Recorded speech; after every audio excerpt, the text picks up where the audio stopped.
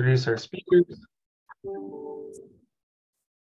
Before we introduce our speakers, um, a reminder to join the call doc. Um, the link is posted in the chat, and we'd appreciate it if folks uh, would enter their names, emails, and institution for us to keep track of who's joining us in the call today. Um, additional housekeeping piece is there will be a question and answer period after the presentation, uh, which we encourage folks to come off of mute and speak their questions into the mic if at all possible. Um, this is a recorded session, so it allows us to capture that. Hear great questions in the recording. So without further ado, I'd like to introduce Sharon Bennett and Andy Keen from Michigan State University, who are hosting a facilities-based talk today. I'm super excited about it, uh, but without further ado, I'll pass it over to Andrew and Sharon. Thank you. Uh, my name is uh, Andrew Keen. I'm an HPC architect at Michigan State University's Institute for Cyber-Enabled Research. I'm presenting with Sharon Bennett, who is the Interim Director of Infrastructure and Operations for MSU IT. And today we're going to talk about our experience building and operating a new data center and some of our ongoing work to improve it. So uh, Michigan State University is a uh, R1 school. Uh, we're an AAU member. Um, we are a land grant institution, so we try and support our researchers, our community, and our world. Um, so we are very interested in our service mission uh, and really advancing research and our communities. Um, so we were established in 1855. We had 50,000 students, uh, 700 million in research expenditures in 2021. Um, so big university. Um, our computational history dates back to the 1950s with MISTIC, uh, which was an ILLIAC style machine. Uh, and so we have uh, had an ongoing symbiotic relationship with computation. Um, through that to the six through the 60s and 70s and and into the, the 80s and 90s and in the 2000s we started we, we, we established the high performance computing center um, to kind of serve as a central campus resource for computational research and then established the institute for cyber enabled research as a way to kind of enable the entire ecosystem around hpc um, so uh, there's a picture of uh, our 26 or our 1957 system uh, to now uh, MSU has a lot of computational science researchers. Uh, we have everything from ag econ to zoology. Um, that's a you know a funny way of saying that, but we have um, you know very large scale people to very you know um, you know uh, emerging fields. Uh, so um, really exciting to work with a lot of different communities to, you know, uh, blow up galaxies or do like gene folding um, or protein, sorry, protein folding. Um, so it's exciting to be able to work with a what we, we have a wide community of researchers, and so they have needs all over the place. Um, uh, so as a statement of the initial problem that kind of led us to where we were at today, um, you can see on the left is a pic. Sorry, here on um, on the left is a picture of our uh, 2005, 2010 era data center uh, for HPC. You'll notice it has great windows. Those are great if you're working in there. Um, but uh, internal audit and everybody else starts asking questions about why you have uh, these, you know, large investments in computation, you know, with a double pane window away from, uh, you know, Angry Birds and such. Uh, we also have our, um, uh, the upper right is our um, original 1950s uh, data center that was that became our like one of our core data centers. And that's a great, it was a great building for for MISTIC, but by 2010 we did a lot of work on it, but it's still um, you know a, a, legacy system. And we also had our administrative data center, which uh, is spoiler alert, you may notice right next to the river and next to the other data center. Uh, we'll talk a little bit more about that in, in, a little bit.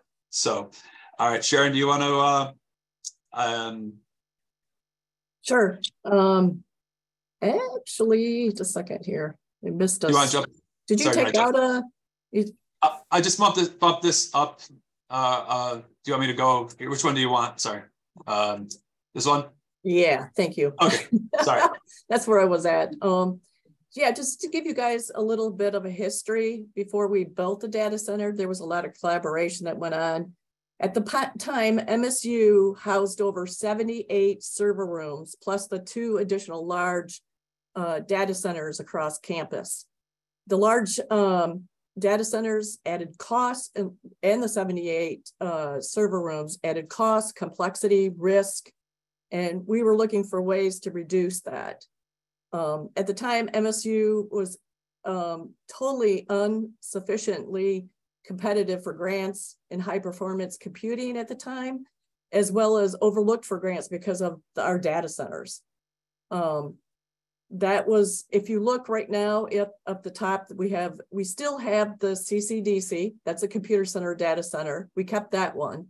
And as we move on to the next slides, well, um, not yet, um, the admin data center, the ADM DC, we actually um, had to move out of due to flood situations. And we'll talk more about that later.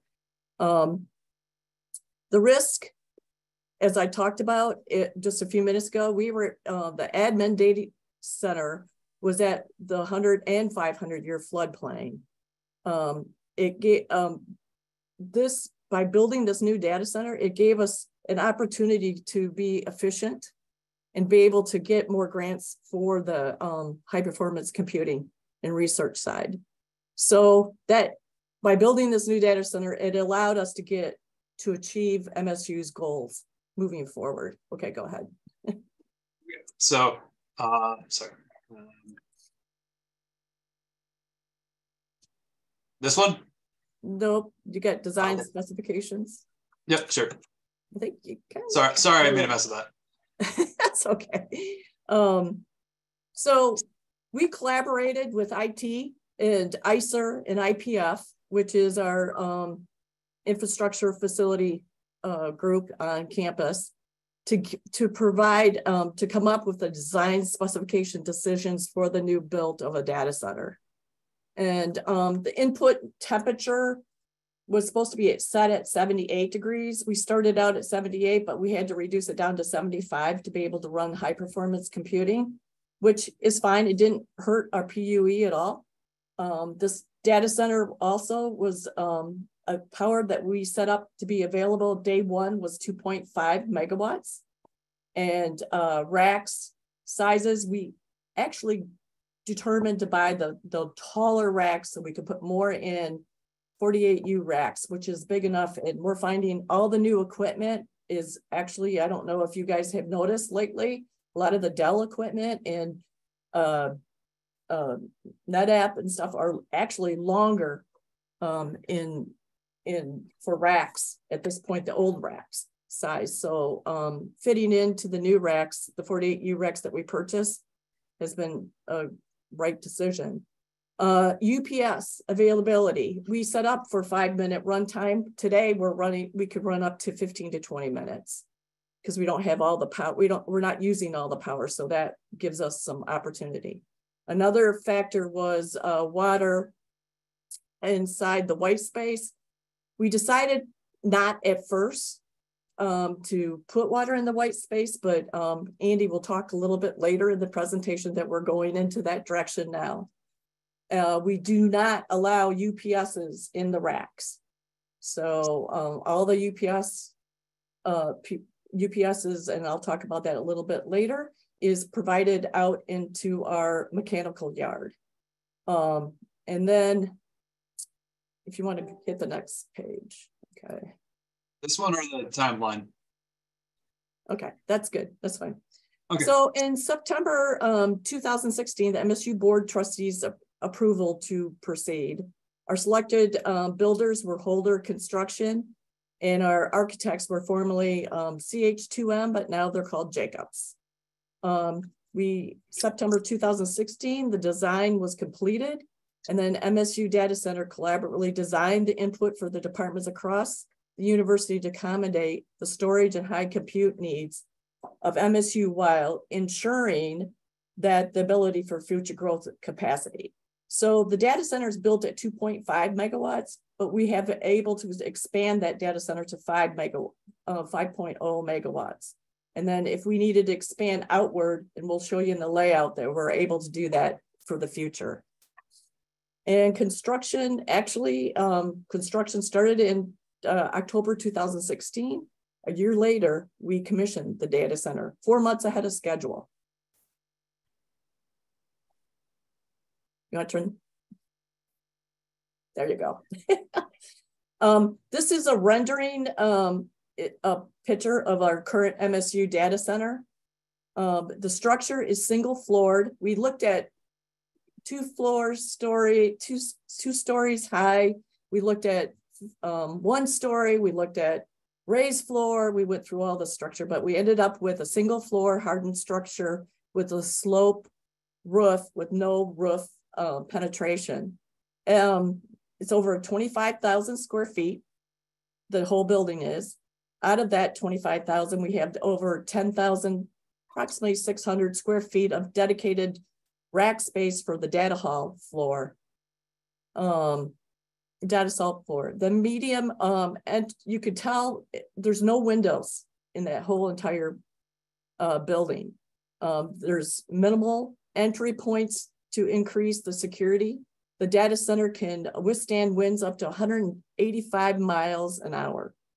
The power today, like I mentioned before, is 2.5 megawatts compute load. That will mean that that meant that 1.0 uh, megawatts goes to critical, 0.5 is non-critical, and then we gave 1 point uh, megawatts of to high performance computing.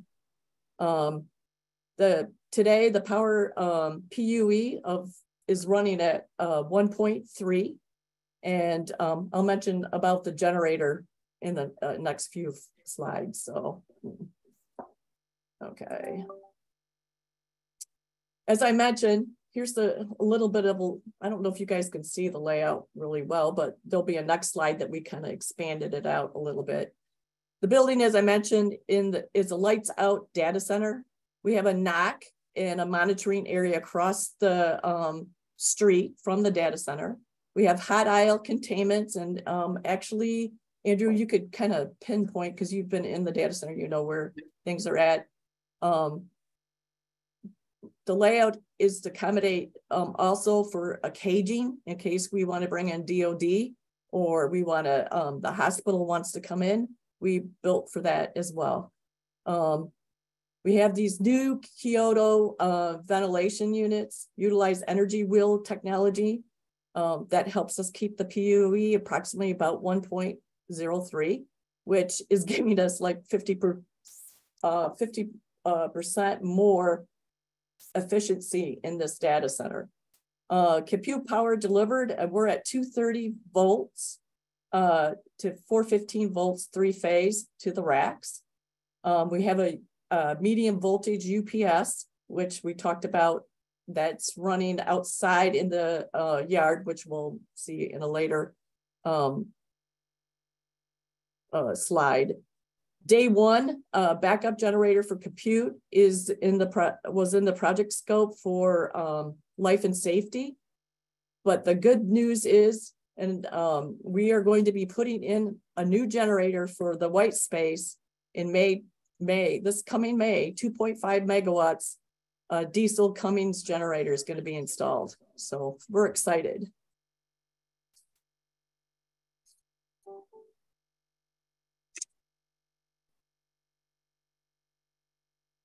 Now you can see the, the layout of um, the point of delivery. So deliveries, if you can see the, um, we have the um, deliveries come in right where um, Andrew's got it. Yep. And that's where we, we use software packages, which I'll talk about. We tag every, every um, equipment is tagged. We know exactly where it's going in the rack so that the time that we unload it uh, and um, look at it to make sure we got everything tagged before we go into the data hall. And it's ready for staging. Then it goes down. If you, yeah, there you go. Thanks, Andy. it's just easier to do it that way. Yeah. I'm used to doing this myself, but that's good. And then we have a secure man trap that goes into the data hall. So in this data hall, we have a grid, um, a around the perimeter of the data center. We also have um, cameras throughout every row, so we know what's going on. Um, I'll talk about that in the security area, but um, we do have cameras throughout, which is monitored by DPS, which is our public safety and our monitoring team. We have 312 racks um, to today. Um, the first top two rows are set with 30 kW racks. And then the in between, and then the, the last two end of, at the end of row is set for ICER, which they have 30K racks as well. Um, we run this data center again at 75. Everything is powered A and B side, so we have redundancy in the data hall. Um, there's cable trays above, we'll see that in another slide, as well as um, we did, the other thing I wanna bring up to your attention is we have these, our cooling units are called uh, Kyotos.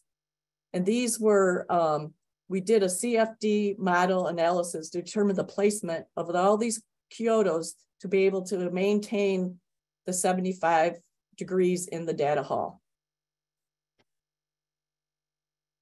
We'll talk more about the Kyotos down more. Uh, go ahead, Annie. Thank you. This is the, um, here's some a picture of the secure white space. We use hot aisle uh, containment and cold aisle. Um, like 312 racks are housed critical computing, networking, and storage equipment that serves Michigan State University. Um, you can see the cable above the trays. Everything's above the floor because it is a just a one floor cement concrete, I should say, sorry. yeah, like that. And then there's cameras. So we know exactly all the time what's going on in the data halls. Go ahead.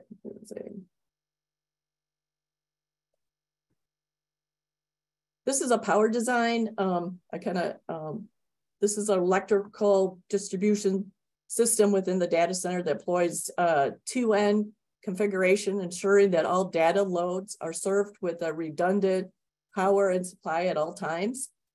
The um, data center serves is served by, um, if you want to, yeah, go to the very top there by the lines is the primary selective service consisting of two medium voltage circuit circuits right there at the top with um, to our MSU TB Simon power plant, which these lines actually made me nervous when we were putting it. We encased them in underground concrete and it goes underneath the railroad tracks, which made me nervous when we were doing it, but we haven't seen any issues with that. Um, it was, it was Huh? It was the biggest, the biggest planning, like the biggest uh, amount of paperwork we had in this process was dealing with the railroad uh, team and getting that, getting them to sign off on that. Yeah, that was huge. I remember that too. So, um, so the circuits both are critical and non-critical switchgear configurations are currently sized to provide today eight megawatts of power. However, we're only using 2.5 today. So for medium voltage, we have a um, the my concern with the UPS, I did not want the UPS in the data hall. So our electrical engineer and um, our um, construction company and um, IPF, the rest of IPF that was on the actual team actually found a uh, medium voltage PureWave UPS that can be outside in a container that provides UPS power to the data hall. Um, it's pretty cool. The batteries are lithium batteries, and I didn't want them into the data center because if fire or anything like that. So we kept them outside and it's a controlled environment. And it's been five years and we've been fine. It's excellent actually to work with. Um, it's all out in the computer. You can hit. So another part of the design this is our AB side. Uh, we have two electrical rooms. Primary would be the green, and the B side would be the white.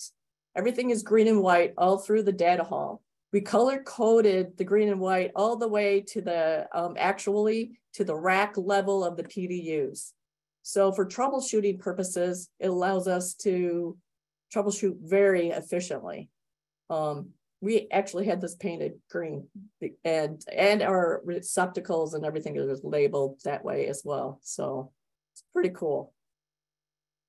The efficiency of um, of actually troubleshooting has been um, very efficient for our electricians when they have to come in.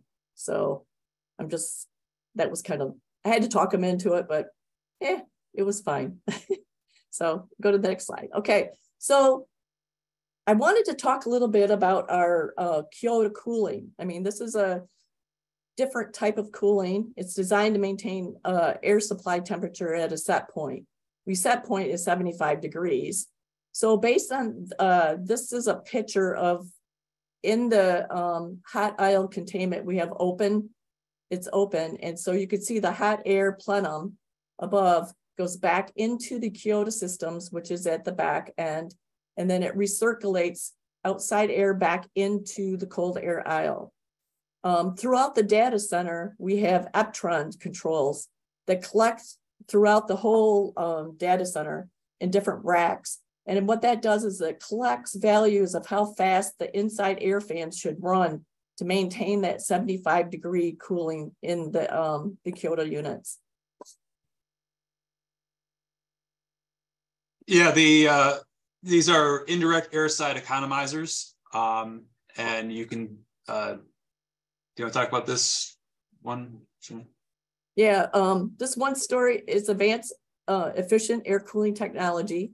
You can see the, um, if you want to, the, the actual wheel above. Thanks. Um, each one of these units that we have, which we have six Kyoto units, are their capacity is up to 30, 135 tons of cooling each. It recirculates the air in the space by utilizing uh, energy uh, wheel technology to reduce the requirements for the standard electric cooling.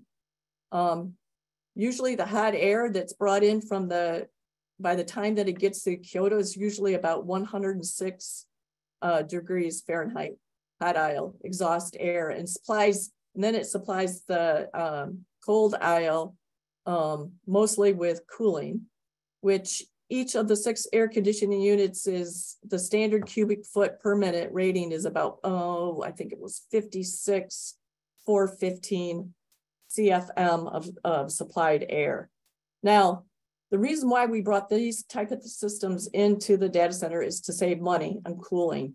They allow us um, to deliver full free cooling about 91% of the year at, in Michigan. That's pretty darn good. And we, um, I haven't, I could say this, but um, we estimated around 600,000 a year because we brought these systems in for cooling and it's not using electrical. So. Yeah. Uh, these are, so it's, uh, these discs, the, this is a, the, the, disc here above spins around uh, at a few times per minute. It is this incredibly dense corrugated aluminum. Uh, basically, the, the it rotates through, pulls the, we pull the air, uh, the hot air through that, which heats it up. Then we pull it to the outside. Uh, so uh, then we just pull the cold air through that, um, and so that avoids. We don't need to do anything besides run the wheel normal times. Yeah, it we have a set point for each Kyoto, what it needs to be set at, and that's how it determines how fast the wheel needs to go to um, push out the cold air. But it it actually puts them hot and cold and combines it to get the airflow what it needs to be in the data hall.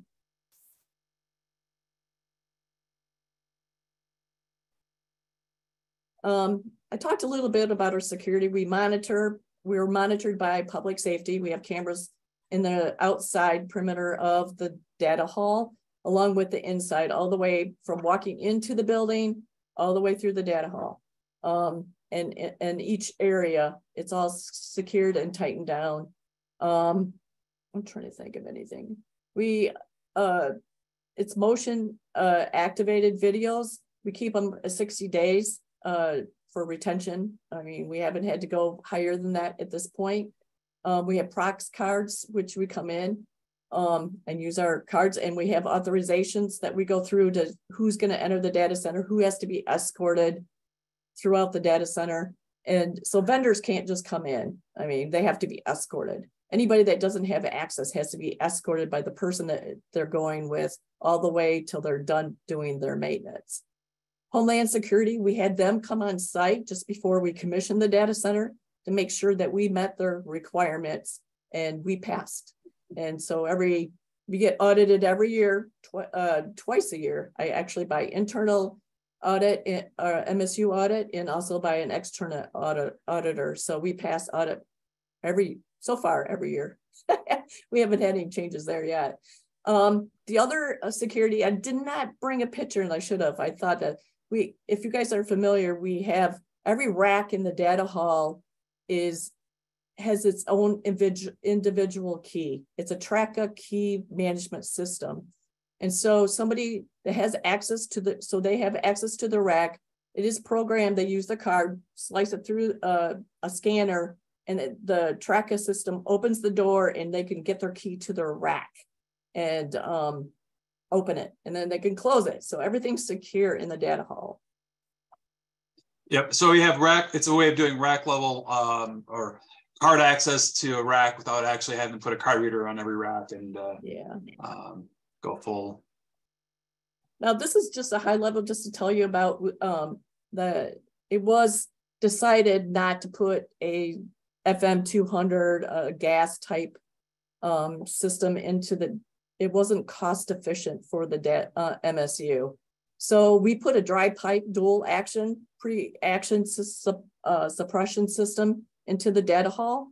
And um, we have it set up in three zones, the data, the white space, the actual mechanical room, the electrical room, and um, there's a couple other rooms as well, just so that we actually are safe. It alerts first with the smoke presents itself, but then um, it detects it, pressure's lost, the sprinkler system goes off, and uh, the lines are pressurized with water. Today, just to keep the lines so that we don't rust out the pipes or anything, we pressurize, they're full with nitrogen as of today. So, okay.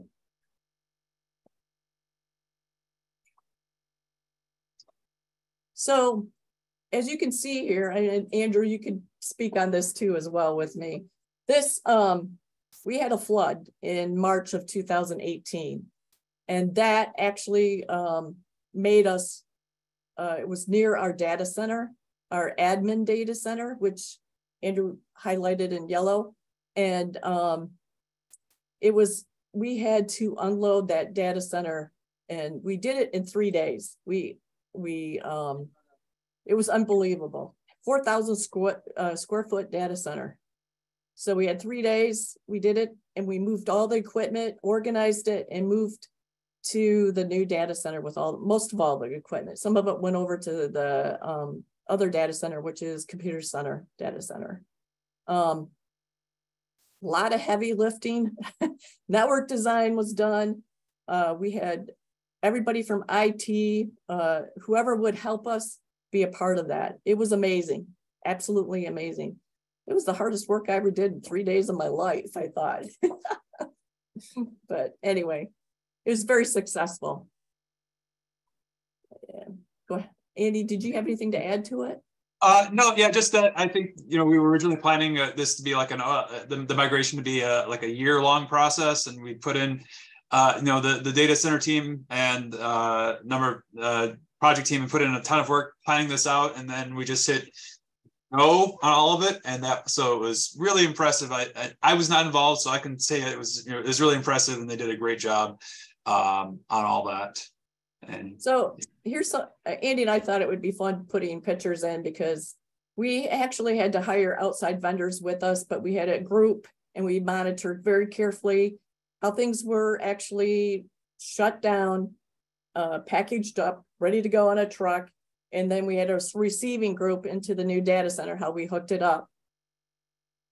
So um, there was a lot of time very carefully thought out. Um, luckily, we had those procedures put together because we were ready to, like Andy mentioned, we were ready to start the um, migrations actually in April. so anyway, go ahead, Andy. Um, this actually, I wanted to put a little picture in there. This is our monitoring area. You could see I, nobody's sitting there right today. I mean, we do have people here, but it's just I took a picture without people here. It was running late, so I wanted to make sure. This is our screen. We're monitoring the weather. We're monitoring the data center. You can see uh, the far bottom right uh, screen is all of the uh, data center. We're seeing what's going on. Above that, we use um, our software for monitoring is SolarWinds. We use SolarWinds today, and we monitor that very carefully for our network team and um, all the data centers. Uh, we also use DCIM, which is a data center infrastructure management system, Hyperview. Um, at, when equipment comes in, we use that to actually make sure that we have assets and they're tagged and we know exactly where or who owns that particular equipment in the data hall. Foreseer is a um, software, electrical software that we brought in to monitor to, uh, all the uh, electrical equipment in the data hall. And Siemens is also used by our IPF group for any air conditioning alerts and, and actually any other infrastructure that we have, like the UPSs alerting. So the good thing is this team is 24 by 7, 365. Uh, they monitor and they, uh, if someone doesn't respond within minutes and they know the critic, the level of the, how critical the alert is or email, uh, they're getting hold of people ASAP. So um, it's, I don't think I have anything else to add to that one. Andy, did you? So uh, I can talk a little bit about this. Uh, so we uh, on our on the HPC side, we kind of have different views of the hardware. Uh, so um, we try and in collaboration with what uh, I with ITS and IPF do uh, for monitoring systems, we have Grafana and Prometheus uh, handle our time series data. We have uh, an Elk stack for log, uh, log data. Uh, we use XCAT for our hardware management of our clusters. We don't do non-cluster hardware management with that, but it's useful. Um, some of the tools that are built into XCAT can be really useful for doing like spot checks and things. Uh, we are currently using uh, Icinga. We have a number of checks defined in Icinga, um, but we are moving to Zabbix because of uh, Icinga's change in licensing uh, around EL9. Um, we use PagerDuty. Um, we're pretty happy with that. Uh, we have a number of different alert schedules depending on severity. If GPFS goes down, we probably want to know that know about that quickly. Uh, but you know, if less than a certain threshold nodes go, we don't necessarily need to wake people up in the middle of the night for that. Um, this is a dashboard one of our people put together. Uh, it has um, you know per node memory usage, CPU usage, um, temperature, if there's any alerts or any, uh, or if the nodes are down. Uh, so at a glance, we can see, okay, system looks good. Um, we, this is a um, Grafana graph we put together. Um, this is um, uh, tracking this, so we can look uh, cluster by cluster. We have we do it on a two-year cadence. We we roughly have, we have every two years we do a we we have historically done a cluster refresh. Uh, so we schedule them all in one single instance, but uh, we do we don't span jobs between those instances. So users have a single software environment, but they can, you know, say I want if they want a specific generation. Uh, so here um, we have, you know, this about eight percent of the systems have on of this cluster are underloaded or below not that's not underloaded, but not loaded not not very heavily loaded. We can see the total memory usage of the cluster. This is just a glance type stuff. But here we can see um, the the current load on like a five minute uh, average uh, time, and uh, also the inlet temps of there. This is particularly useful for identifying hotspots, and um, we have seen you know places where there are you know if there are um, places where we can get blow by, um, where hot air gets sucked in um, that that that can really cause us some issues. Uh, so we are trying to identify that. Uh, one of the things we've noticed is that GPUs um, are particularly sensitive to um, power and cooling. Uh, as Sharon mentioned, we dropped the, the, the ambient temp from 78 to 75 because um, uh, we were seeing more um, throttling thresholds. But with this dashboard, uh, I don't have any events on this right now, but we will actually be able to see when they're either in a power cap or a thermal throttle on the GPUs. Um, you can see power consumption for a couple of nodes here um, per GPU uh, and um, the per GPU temperatures, um, as well as server inlet temps. Um, um, Sharon, do you want to talk? Sure. Uh, data, um, maybe, yeah. Our data center engineers coordinate with our infrastructure planning and facilities on preventative maintenance continuously. We maintain up to up to date constantly. We get reports. We're, we're constantly making sure that everything is working in the data center. We do walkthroughs. Um, I have a staff of three data center engineers that run two two of the data centers today, and um, the maintenance are coordinated very well and I, I want to say this too is something that um, maybe at the end I should say, but um, building this whole data center, um, I think Andy's uh, Andy and uh, I uh, we've got uh, ICER and IT, IPF, the builders, the architects. We all worked very closely together, and it was um, and we're still friends. after we built it. So it's good. Go ahead, Andy. Yeah, I think that's you know the uh, we are um, you know it's it's it's really been an, I think everybody has really you know we we work hard to work well together. Um, that it's you know we we have uh, we we try and communicate very clearly. You know when we have needs and uh, you know it's really been a, a, a productive partnership um, you know, installing a new cluster. Um, this is because I exported these as PDFs or as a, as a PDF. I am you don't get to see the cool video. So give me one second. Uh, hopefully this doesn't break everything. Um, but you know, when we install a new cluster, we have a um, uh, it's a collaborative project between uh, ITS uh, and IPF and and you know ICER and the vendor as well as delivery the delivery team. Um, you know, they're both their uh, installed people uh, as well as uh, ultimately you can see somebody um, you know uh, get a ring of glowing lights as he uh, zips up the line. Um, that's not that exciting, but uh, I had the video, so we I was going to use it. so um, I didn't mean to hit that button. My apologies.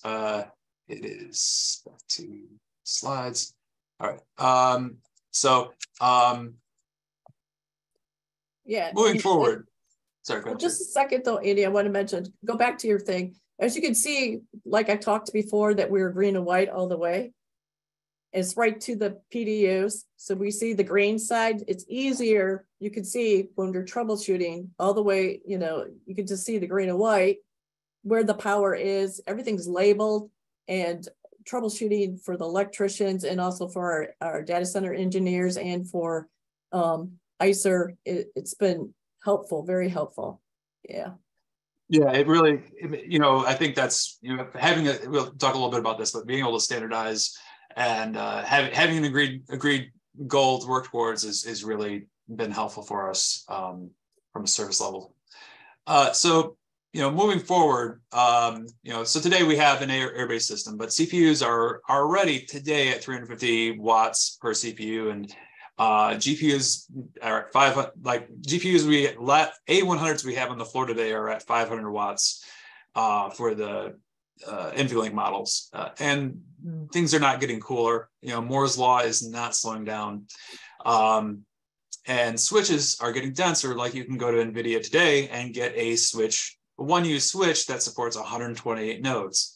Uh, but the, the cables on them are absurdly short. So um, we, uh, when we first put our first, when we first our first, we, we did our first HPC system, HPCC system in 2005.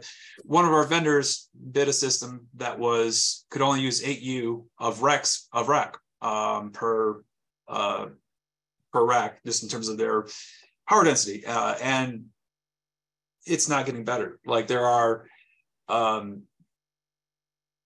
uh, there's a point where we won't be able to. So now we're talking, you know, at a thousand watts per socket potentially. You're, you're, we're starting to run against up against the limits of what we can move, the amount of air we can move across uh, a heat sink without that is not, you know, huge. So you start getting so our system, our, our our data center right now is working well, but we're starting to see see limits on that. And um, another, I think Sharon mentioned this already, but we um, we were designed this facility uh, because we have a 100 megawatt, uh, gen, uh, effectively a 100 megawatt generator a quarter mile away from our data center. Um, but we actually, you know, we've decided that we do actually want on-site generation. So um, we have some ongoing projects for that. Um, we had a, so we have the uh, as Sharon mentioned, we had 1.5 megawatts on our critical side and one megawatt on our non-critical side. Our non-critical side doesn't have the UPS and it will not have the generator, but um, the the critical side will be able to have that that run out UPS and the generator. So um, there are a number of different ways that we could add water cooling. Uh, we've in the past we have done rear door heat exchangers in, uh, in the engineering facility, um, but ultimately we had that that takes some air out of the room, but we are limited in amount of, you know, it's still a lot of air that you have to move through a system, uh, and it is not doesn't recover. A, uh, there, it still lets some air into the the, the, the facility, uh, or heat into the facility. Um, so being able to do stuff like DLC, where you can actually you know run water to or, coolant to the the actual socket or the heat source, um, lets you move heat uh, more effectively that way. Um, alternatively, you could do immersion. Uh, a lot of vendors are looking at this. Um, you know, going back to even the old Cray, old Crays with FluorInert, um, uh, folks actually have had, I'm sure some folks in this call even have had luck with mineral oil. Uh, and, uh, you know, it doesn't have to be a particularly difficult, difficult a complex solution. Uh, aesthetically, my favorite, there's a 3M fluid um, that actually boils at the temperature that the CPU operates on, and then you condense it down in, uh, into a uh, passive coil above the rack. But that's just pretty expensive, and uh, uh, but but it, but it looks cool. So it's it's hard for me to to to not get excited about that. But so if you don't have spiritual water in your facility, uh, you could use, there's a product, Motivair has a product called HDU, which will take a chilled water loop and exhaust it to the air. They have in-rack and in-row solutions. This is an in-row solution and does about 100 kilowatts. Um, so that's a, a, kind of a, uh, it's a little bit awkward to, you know, you're, you're, you're not actually, to, to dump additional heat into your room. Um, it's also kind of a little bit hacky, but it's a great interim or you know in process solution. So what we're doing um, I don't have a picture of the generator, but we're putting a, we, we plan on being able to support a generator day one. So we're putting in a generator uh, May, hopefully. Um, that's not that interesting to me on the HPC side. Um, so we have a uh, ATS and we have an external chiller set up here uh, and uh, some, uh, sorry, I guess I am on the wrong slide. Uh, my apologies. Uh, so we have cooling, as I mentioned, the cooling, the direct cool, lip cooling liquid cooling, the immersion cooling, the H, the Liebert HDUs, or sorry, not Liebert, Motivair. Um, and so this is the work we have in progress.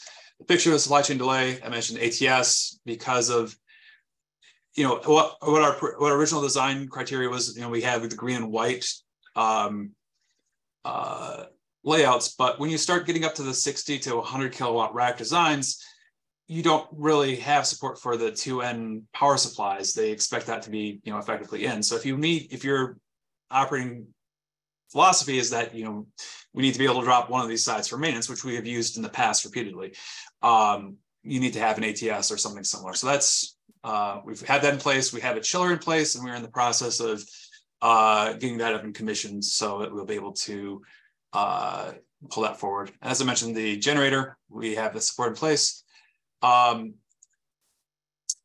you know, we were, um, I think one of the things that worked really well for us um, was that having a skilled designer who was familiar with, you know, cutting edge um, data center design stuff uh, really helped us. uh, think through our design choices and implement stuff in you know uh, an effective and efficient way. And um, yeah, I think uh, we've all you know get, getting buy-in from everybody on the uh, on the team really made us uh, be able to deliver this effectively. So uh, on that, I think that covers my um, uh, our prepared slides. Uh, Sharon, do you have anything more that you wanted to add before we move on to quick Q and A? Uh, no, I think we can start going to the Q and A because I see we got a lot of questions. yep. I do, we do have a couple videos that we can share. Um, oh yeah. Uh, but yeah. let me pause. Let me pause recording since they are notionally sensitive. Um, stop sharing. Um, um, so, um, um, do we have the questions in chat or, or in, in, the text, or should I just read them off the, um, the chat? Yeah, I think the bulk of them came in at the chat, and we usually like to encourage folks to come off um, come off mute and and ask the the questions. But you know, to your preference entirely. Okay. Okay. All right. So, um, Daniel, do you want to um, uh, ask questions about any, any of your questions? I could answer it.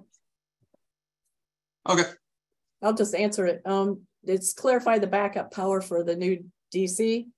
At the point we have two critical um, uh, cables. I mean, uh, two critical. Um, gosh darn it, I can't even think of the name.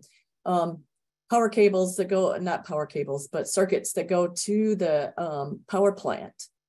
So that is monitored, and they they have a generator like what uh, Andrew mentioned, 100, I don't know, 100 was a 100 gig a megawatt generator. We're on critical power at the data center. So if we if the university loses power, we are still still up and running because we're on the critical side of the university power. And so that what that means too is we share power with uh, consumers power. So if we lose, if if the power plant loses power, we all flip over to consumers power moving forward. So that's how the backup power is today. But once we get our new generator, it's going to be designed just a little bit different, but we'll be still maintaining those two critical circuits to the power plant. And our um, other data centers set up the same way, except we have roll roll up generators that come up, but we're still on critical circuits to the power plant. Did that answer, Daniel, did that answer your question? Oh, and how much power per rack? Okay, so today I would say we have 30 kW racks and then we have 10 kW racks. Um, how much are we using? I'd have to get that count. I mean, I can't remember on top of my head, so I can yep. get back to you on that one. Yeah, 10, 10, 10 in our low density, 30 in our high density, and our water cooling, we're targeting 60 at a minimum yeah. uh, for our for our next ones. So um, so the 24-7 system monitoring, um, there are not on-site dedicated uh, operators. Um, we have uh, on the on Sharon, we don't have an on-site operator, right? Yes, we do. Oh, not yeah, on, do. I mean, I'm sorry, we're across, we are totally in a building right across the street. Oh, we have to so, use over. yeah. So, so, so yeah. Yeah, so ITS has 24-7 operator. We're not staffed in the data center 24-7, but there is someone on campus 24-7. Yep.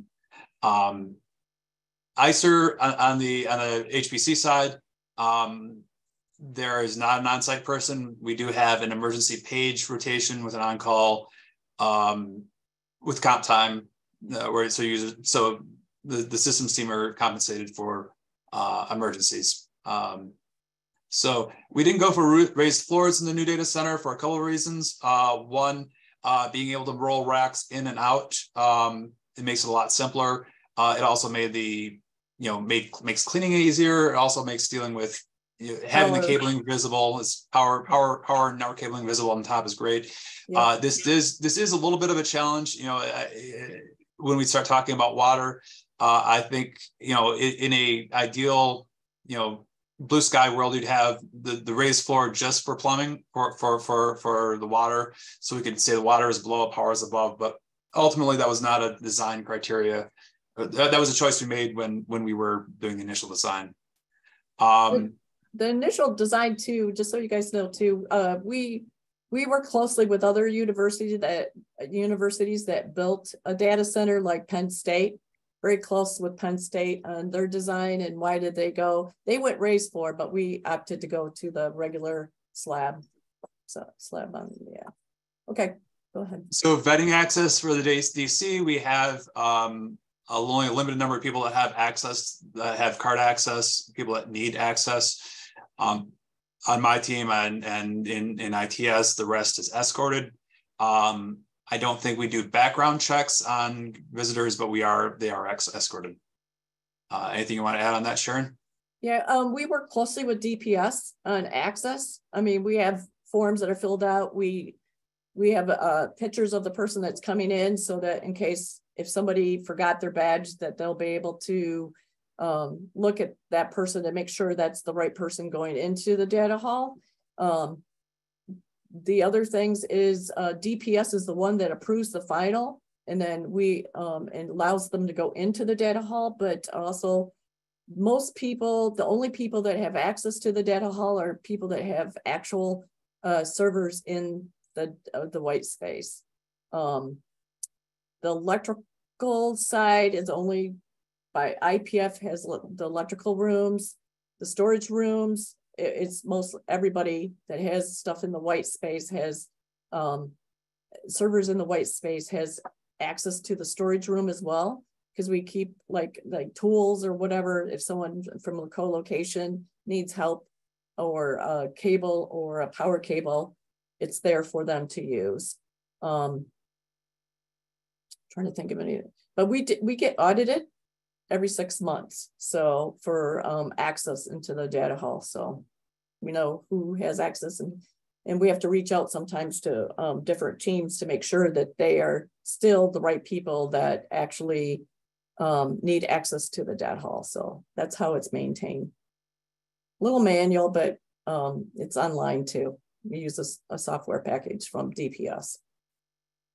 Okay, Uh, we were asked if we conduct tours. Uh, we do, um, small groups usually, not, not something we do a lot of, but, uh, if there is a, uh, you know, a, a, a, a, something that meets the university's need, um, mission, you know, outreach or, uh, specific, if, if it furthers the university, you know, mission, uh, that's more likely to get, um, approved. yeah, Um, and the other thing is if anybody's any, if you're ever at MSU and want a tour, please reach out to me or Andy. We'll be willing to do a tour. So, Um, so we use a number of different pieces of software to monitor GPU and and, and CPU status. Uh, we look at uh, Slurm. Uh, we also look at uh, NHC uh, through Slurm, uh, but we also um, use uh, Prometheus um, and some of the exporters out through there to provide additional information um, into our monitoring stack. Um, so uh, happy to answer any more questions about the, the data collection and, and analysis and presentation. But uh, yeah, Prometheus to Grafana is kind of the, the, the, nuts and bolts of that um, with various collectors. Um, network redundant network connectivity is being offered at the rack level. Um, yeah, we Sharon, do you multi mode, uh, single mode. Um, we have switches. Two, uh, the switches are at the top of the rack and then at the end of the row, we have a network, uh, um, priority network rack at the end of each row. We are looking at changing our design, um, in the near future, but right now that's how we're set up. But, um, cabling, uh, we have up to, I think, Andy, you guys, I, we go forty gig, uh, and ten gig connections. Um, I don't know if you have, uh, more than that. Do you, Andy? yeah, so we do we do so we have um, yeah we have hundreds and Yeah. on the on the uh, HPC side. So we have two fabric, two effective fabrics. One is run by the ITS team. Uh, that's our Ethernet fabric. That is hundred gig core. Uh, we have a um, everything is it's it, it's active act. It's an active active pair of uh, QFX 5200s. Um, and uh, so we spread our devices, uh, Ethernet devices across those um, switches. Um, and those are primarily, yeah, so those are 100, that's 100 gig core. We have 25 gig, 100 gig devices off of those. Um, on the, we also have, being the HPC, we have a big InfiniBand fabric that is um, a combination of FDR, EDR, and HDR switches. Um, we have a three level that doesn't have much.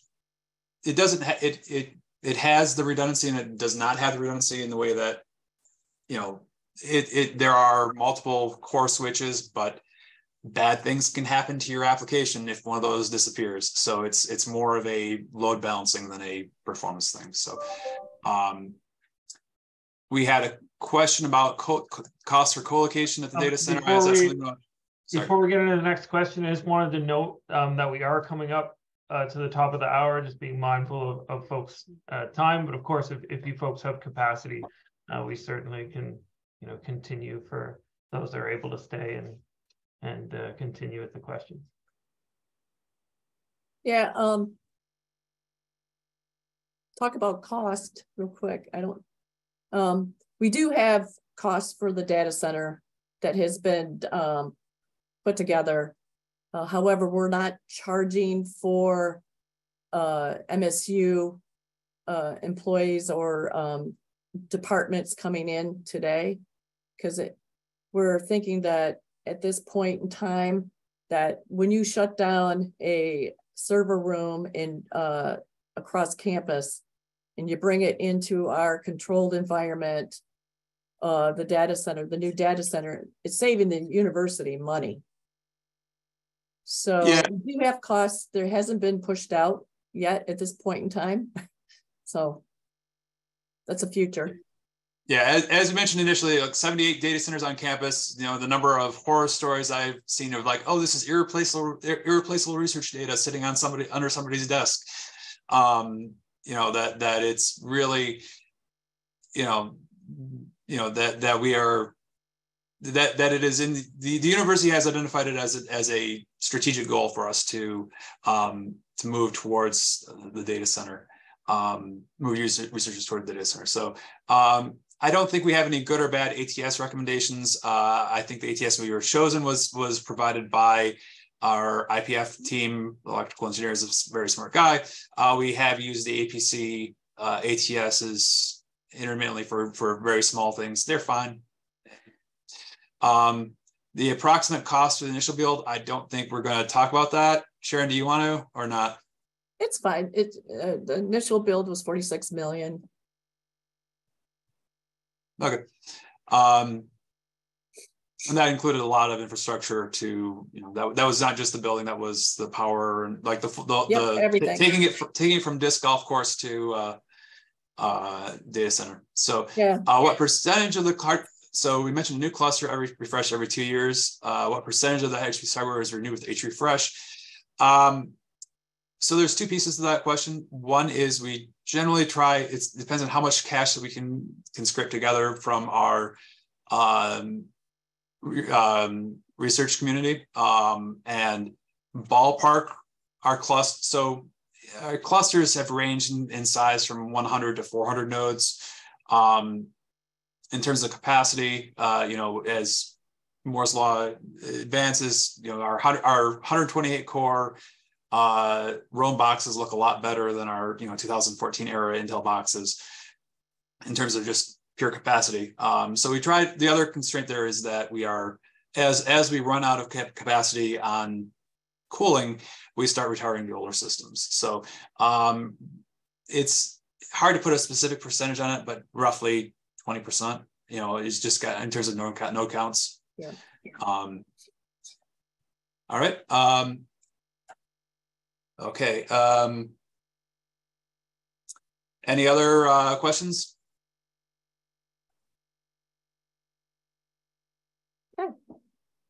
Yeah, you guys just destroyed those questions. We really appreciate it. And that was an amazing presentation.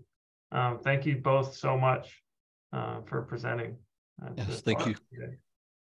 Yeah, no problem. Feel free to reach out if anyone has any questions or would like to chat about any of this. Uh, you know, I, I like the sound of my voice, uh, so um, feel free to, you know, I, I can go on at length about it.